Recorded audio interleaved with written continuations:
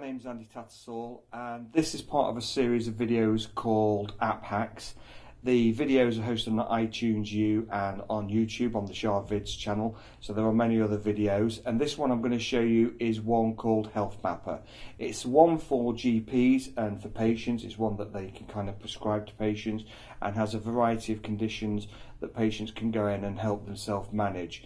The app is only available on iOS for an Apple device and is $3.99. So I'm going to show you how the app works. So this is Health Mapper, um, which uh, works only in portrait on uh, your mobile device. And um, you can either start by creating a, an account or you can uh, log in if you've already got an account. So if I just go to create an account, I'm not going to create one now, but what it would ask for is whether you were tracking uh, for the health condition for yourself or for someone else. It would just want a, an email address, a password, and then uh, for you to retype uh, the password. Um, and then there's some terms and conditions which perhaps are worth just kind of browsing over um, before you start. I'm not going to actually create an account, I've already got one, I'm just going to skip that process, which I can do.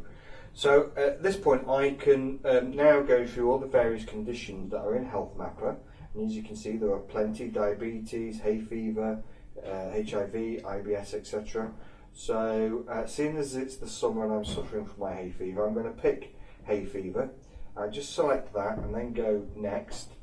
It then wants to know what symptoms do you want to track. Um, so for myself, I've got blocked nose, um, I've got headache, itchy eyes, uh, nose running, so we'll have all that, red eyes, uh, so you select, this will apply to whatever condition it is that you're looking at. Um, I'll also put in sneezing, I sneeze quite a lot, and watery eyes and tiredness.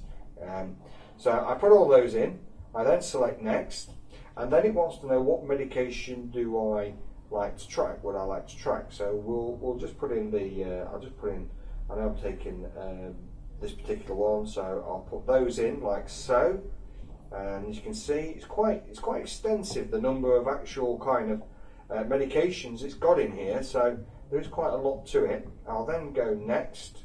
And then it wants to know what measurements do I want to track. So most of these are not particularly uh, of value to this particular one but it may be different with others say such as headache uh, or diabetes. So I'm just going to track sleep.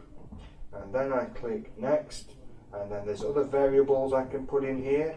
So perhaps put the dairy in because dairy can affect uh, your, your, kind of your, your, your, nasal passages. So we'll kind of select that and uh, put milk products in. Select next and then it wants to know whether you want to set kind of reminders yes or no. You want to know how often they uh, occur and the time you want them to come. And just press um, next. Again wants to tell you whether you should uh, remember to take any medication. So particularly useful if you're a doctor, you're prescribing medications and you're, you're worried that uh, whether your patient's going to take the medications or not on time. Again, it's very useful if they've got a mobile device that you're not just prescribing a medication, you're prescribing an app that will actually help them um, uh, use this. And at the time of we recorded this, or shortly before we recorded this, this was part of the NHS uh, uh, app suite, so it was actually on the official NHS uh, collection of apps. So we can put in reminders and I'll go next and then it wants to know whether you want to turn on any kind of security ID, any fingerprint ID to log into the app and then click finish. And then I just press start and it will start tracking. So um, if I just hit that, it will now uh, it will actually, there's a little bit here where it wants to kind of introduce me to main features of the app, I'll just say no.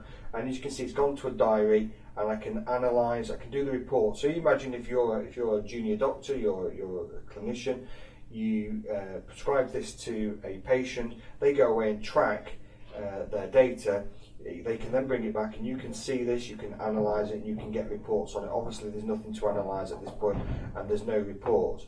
But there is a tremendous amount of um, uh, uh, health conditions on here um, that you can track. So, so um, it's one of these again.